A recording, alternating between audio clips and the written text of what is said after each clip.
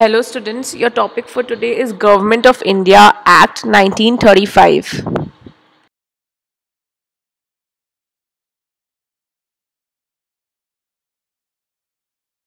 So on August 1935, Government of India Act 1935 was passed as, as the longest act and uh, under the British Act of Parliament. This act also included the Government of Burma Act 1935.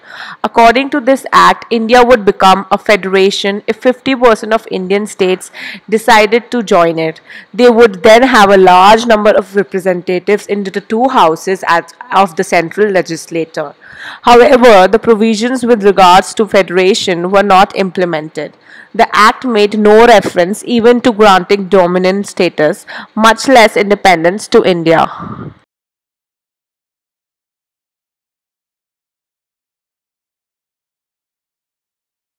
So, with regard to the provinces, the Act of 1935 was an improvement on the existing position.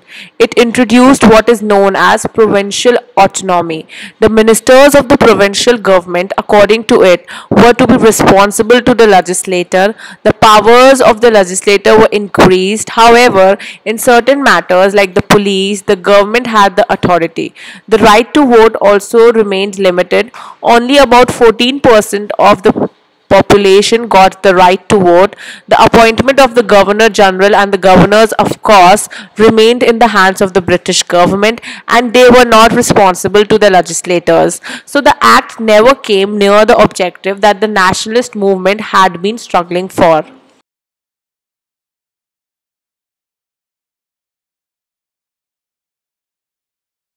The features of the act. The first feature is that it provided for the establishment of an all india federation consisting of provinces and princely state as units. The act divided the powers between the center and the units in terms of three lists. The first was the federal list the second was the provincial list and the last was the concurrent list. Residuary powers were given to the viceroy. However, the federation never came into being as the princely states did not join it. The second feature is it abolished diarchy in the provinces and introduced provincial autonomy. In its place, the provinces were allowed to act as autonomous units of administration in their defined spheres. Moreover, the act introduced responsible governments in provinces, that is, the governor was required to act within the advice of the ministers responsible to the provincial legislature. This came into effect in 1937 and was discontinued in 1939.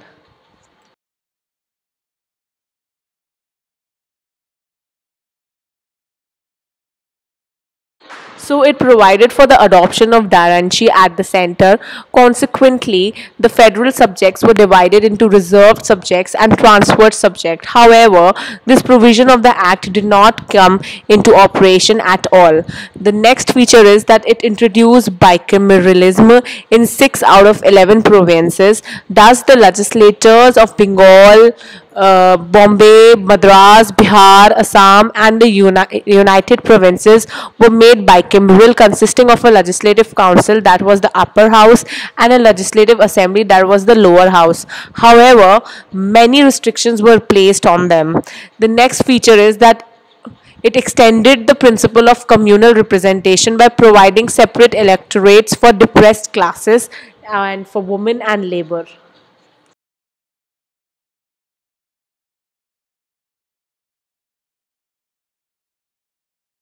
Next feature is that it abolished the Council of India established by the Government of India Act of 1858.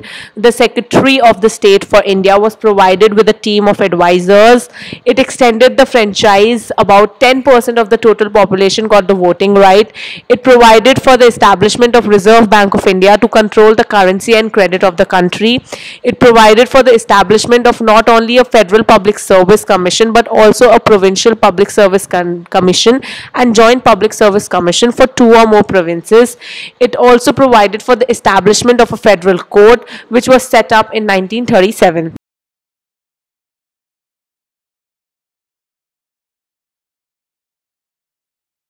So the main objectivity of the Act of 1935 was that the government of India was under the British Crown. So the authorities and their functions derived from the Crown is insofar as the Crown did not itself retain executive functions. His conception, familiar in dominion constitutions, was absent in the earlier acts passed for India.